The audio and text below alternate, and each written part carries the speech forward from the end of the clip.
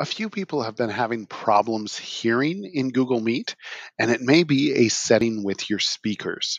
So if you are having that problem, you'll go down to the bottom corner here to the three dots. It's called the More Options menu. I call it the Snowman menu because it looks like three snowballs piled up. And in there, you'll want to go to Settings. In Settings, the audio controls come up right away. You want to make sure that the microphone is on the microphone you're using. So it might be the internal microphone for your um, device, or it might be an external one if you're using something. And then speakers is important too.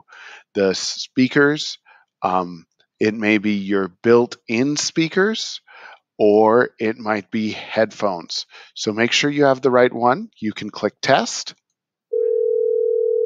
and if it works right, you will hear um, almost like a phone ringing. So try that out if you cannot hear in your meet calls. I hope that takes care of the problem for you. Have a great day.